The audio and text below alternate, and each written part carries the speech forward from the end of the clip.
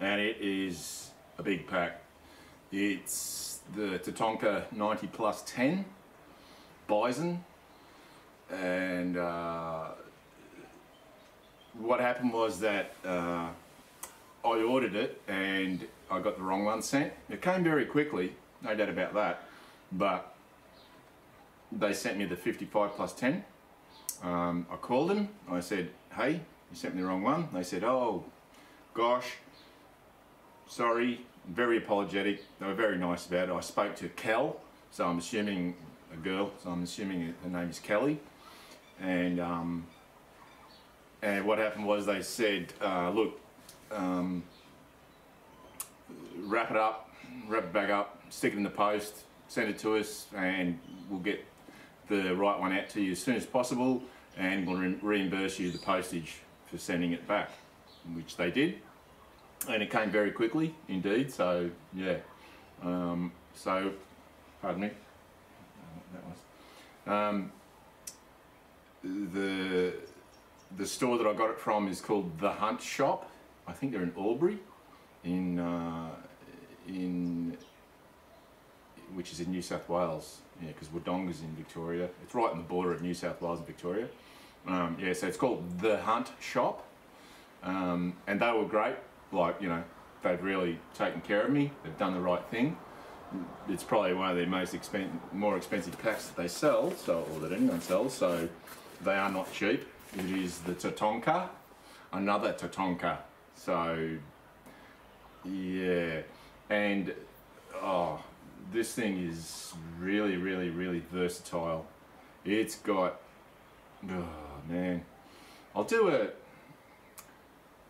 I'll do a proper review of it. Um, probably when I use it, and I'll take it out in the field, and I'll, you know, I'll take everything out and show you what I'm carrying and blah blah blah. Um, because uh, oh, it's it's just so big. It is a big pack. I have to tell you, it's a big pack. But you know, it's, yeah, it's a big pack, but you don't have to carry you know tons in it. Um, hope you can see me over that thing. Um, yeah, it's it's got oh man, you know like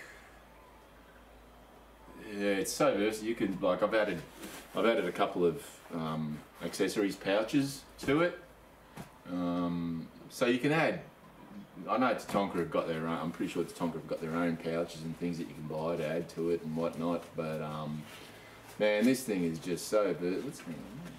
I twisted that. Oh no. Um, it's, yeah, I, I definitely reckon, like, it's so well made, you know, which you would expect, but it is, it is tough as. I can see why the Kiwis love this thing or the, the Tatonka brand. Um, it's yeah, oh man, it's oh, I've sort of filled it up with probably overfilled it with crap that I probably wouldn't take anyway, but I've just you know gone berserk. Um, it's got a bottom compartment. Oh, uh, you know, classic packs, and uh, Oh yeah, I see. And it's got um, it's got Velcro straps and so you can velcro straps and keepers everywhere so that you know your straps aren't just flailing around all over the place although that one is. Um, it's really really well designed and well thought out. Um, you know it's just yeah, yeah hard to say anything bad about it again mm, I can't say anything bad about it it's got it's got uh, so it's got a, a, bottom compartment. It's got two two buckets on the sides, which are elastic. Um, it's got then it's got two pockets either side, and uh, unzip, and then yeah, it's got the top that comes over, and oh man, you know this thing's yeah, it's it's it's a it's a beauty. Um, the only thing that I haven't figured out, because I got the rifle scabbard with it, which just holds the butt of the rifle. Um, the only thing I can't figure out is where to put it. Uh, like really, uh, probably strap it on one of the side cinching straps and just have the, the rest of the rifle going through the, the upper cinching strap. I'm that's what I assume is how it goes because I can't see anywhere else for it to go. Uh, it just yeah, something like that. I think. Yeah, so you'd have it, you just have it hanging off that side cinching strap, and then the the, the barrel going through there. Another cinching strap. It's about the only way you could do it. Yeah. Um, it's yeah, and you can actually. One thing that you can do, it's just so versatile. One thing that you can do is you could just use it as a, a normal pack, but you can also. Yeah, if I undo that. Uh, you can also just unzip the whole main compartment and get in there as well from from the back instead of going in from the top. So it's it's just so yeah. It, this is probably the most versatile pack I've ever seen. I've not I've not seen and the zips are really the a number one YKK zips. They are so smooth. They're like yeah, like butter. You know, they are really really good zips. I have to say. That, that goes there. Like that. There Man, this thing's got more. Yeah, it is so versatile. I'm probably out of the picture, but you know, it is. it is. Seriously, it's probably. It is. It is. This is the best pack I've ever seen. Just the versatility of it, no doubt about it. It is the best pack I've ever seen. Yep.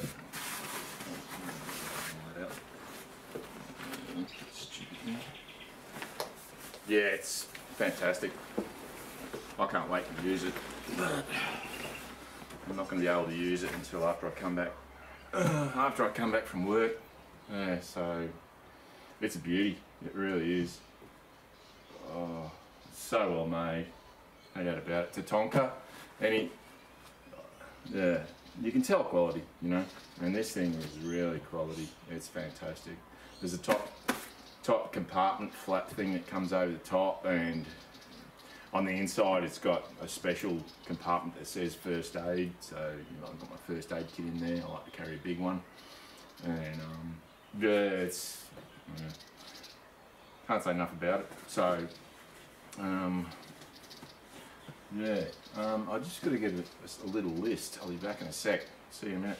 Okay, I'm back. Uh, oh, first off, I'm I'm having a beer because I've just come back from having a fish. Sure enough, halfway to, to fishing, uh, halfway there, I realised I forgot my camera, and then I thought, uh, bugger it, I'm probably not going to catch anything anyway because it's really cold and uh, I didn't even bother taking my phone. I left that in the car, and sure enough, I caught a barra, and he was a bit of a he was a bit of a uh, an acrobatics expert, and never got to film it. And it doesn't matter because um, yeah, who cares? Um, Oettinger, German. Original Oettinger German Pils, Pilsner, so what's that change?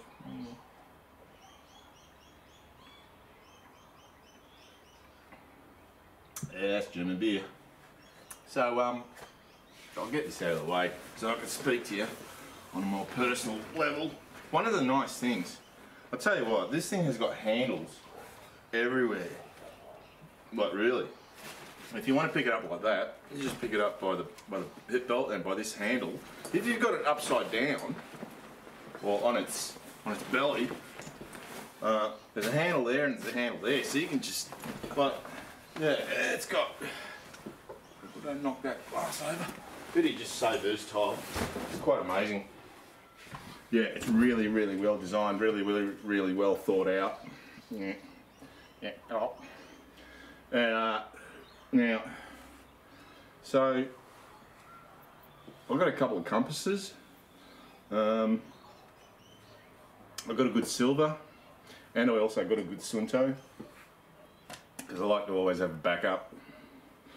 And I've, I've been, ages ago I got one of those stupid things, but um,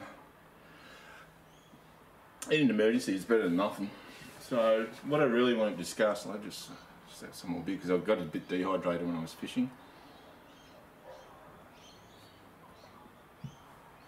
Now, regarding my uh, low carb diet or yeah, ultra low carb diet, I weighed myself this morning and I was another half kilo lighter.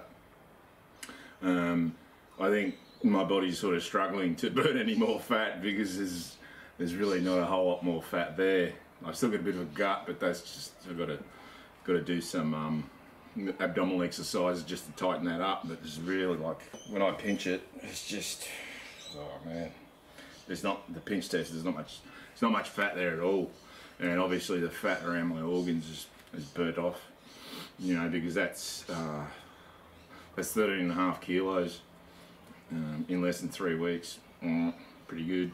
So some of the really really good things that I've noticed about um,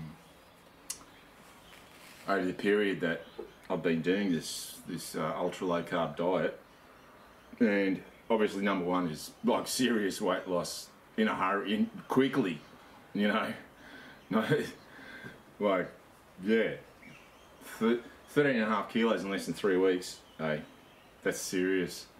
That is yeah. Um, one other really, really nice thing is I no longer dread going to the toilet.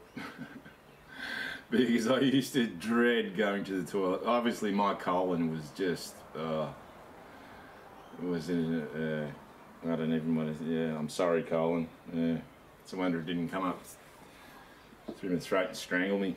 Um, so, because a serious reduction in toilet paper use, like, yeah, unreal, unreal.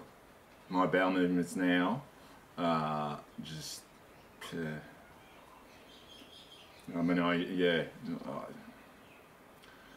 I, I'd, I'd go to the toilet and I didn't know what to expect. You know, whether to expect diarrhea or or constipation or any of the any of the above, and um, it was always a mess. And I would I would never be able to expel everything, and I'd have to go back again half an hour later, and maybe again, you know, two three times to keep wiping my butt. You know, oh man, it was a nightmare, and that's gone on for a very very very long time. And this is just such such a drastic change that it's it's um, yeah you feel a lot happier you know the other thing is skin my skin. After typically after I'd have a shower I would I would have dry skin flaking off right? Um, not anymore.